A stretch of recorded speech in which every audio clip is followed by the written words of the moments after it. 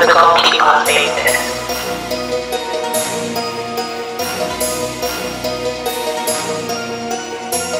Purchase your track now. The goalkeeper faces.